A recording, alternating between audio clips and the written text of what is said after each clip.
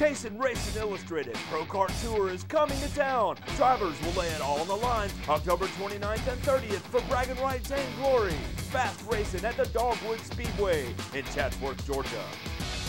Over 45,000 in guaranteed payouts with wild rides and white knuckle racing.